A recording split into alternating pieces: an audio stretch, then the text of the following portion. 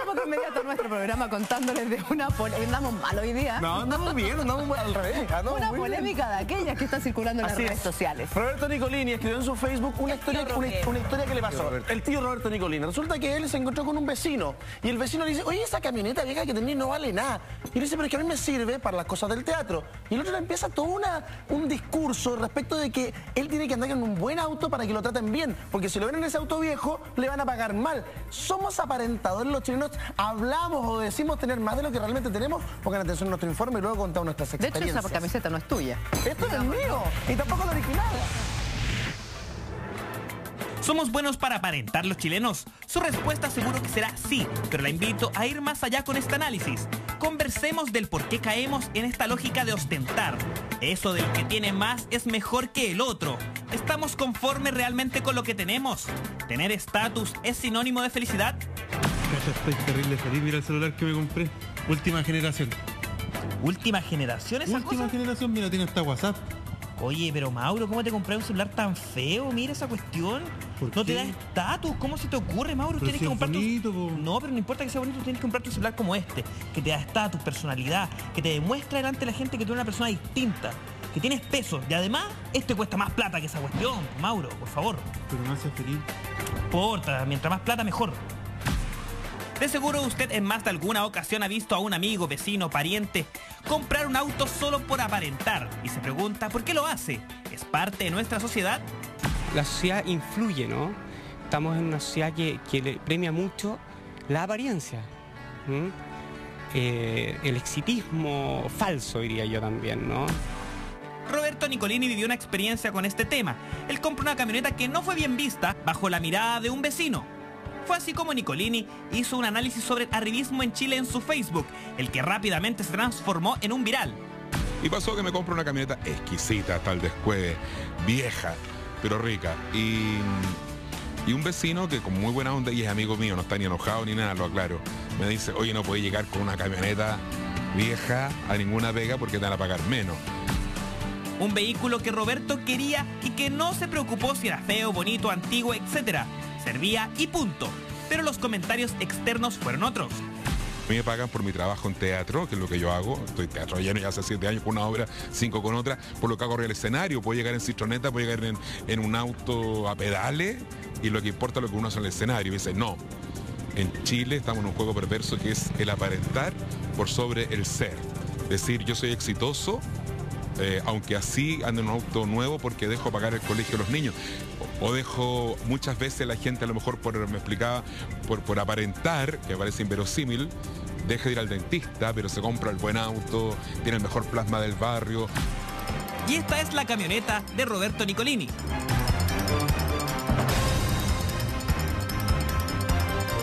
¿Has aparentado alguna vez? Seguro que sí. Muchas veces no nos damos cuenta de aquello, ya que estamos inmersos en círculos viciosos de aparentar más de lo que somos.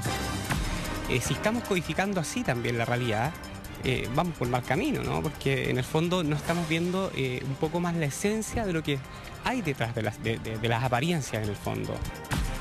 Aparentar es el estilo de vida de muchos en nuestro país. ¿Será que el ostentar está en nuestro ADN? Terrible de arribista.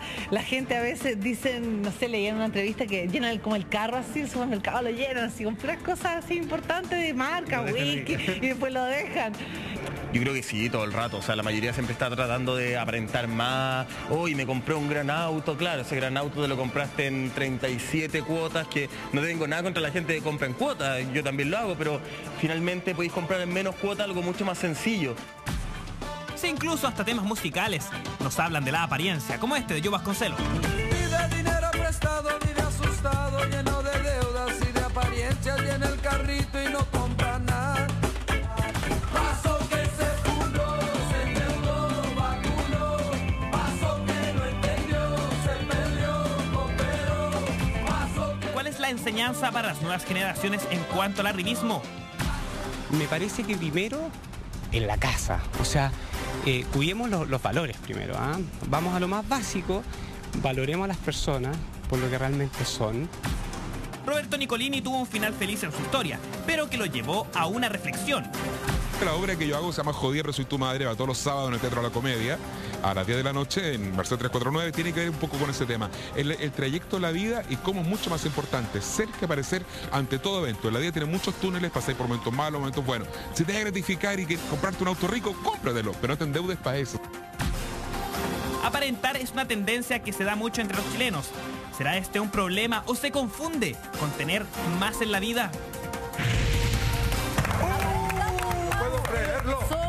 Una sociedad exitista en donde lo material es fundamental y podemos no tener Terrible. comida, pero así andar en un auto de lujo, vivir llenos de deuda, no descansar, pero aparentar frente al resto del vecindario que tenemos un mejor pasar de lo que realmente tenemos. Queremos saber su opinión en el hashtag lluvia en Mañanero. ¿Sabes qué, Julio? Es que es verdad. Porque lo que el amigo de Roberto Nicolini le dice es totalmente cierto y reflejo de nuestra sociedad. Cuando tú te vas a presentar para un trabajo, si llegas mal vestido, probablemente no te contraten. es es súper es súper duro. Es que eso es Ok, distinto. No, pero es que pero, es pero- No, es sí, es pero si llegas, si llegas y pones las llaves de un auto último modelo, deportivo, no sé qué, si el que te va a contratar es un hombre, probablemente el tipo mire la llave y diga, ah, tiene un súper buen auto. Y en tú". eso a mí me pasó en una oportunidad estar en una reunión en un café y llega una pareja al lado y, y tira sobre la mesa una llave de un Mercedes-Benz.